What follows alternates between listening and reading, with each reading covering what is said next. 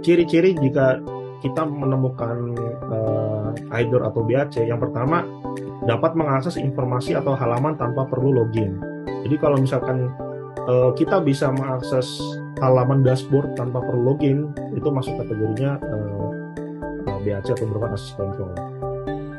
Lalu dapat mengakses informasi entitas lain tanpa perlu login melalui entitas tersebut. Ini yang tadi ya, jadi saya mengakses informasi milik uh, mungkin Mas Dodi yang ID-nya 13 dengan saya ID-nya 12 eh sorry Mas Dodi 12 dengan saya ID-nya 11 itu uh, dikatakan idol atau dapat mengakses fungsi atau halaman dari privilege yang lebih tinggi admin. Misalkan uh, admin itu ada menu add user ataupun manajemen user.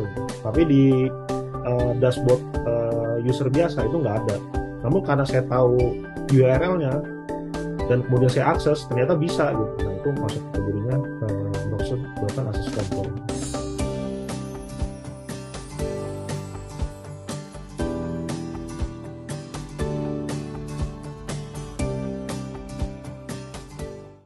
Belajar cybersecurity hanya di Cyber Academy.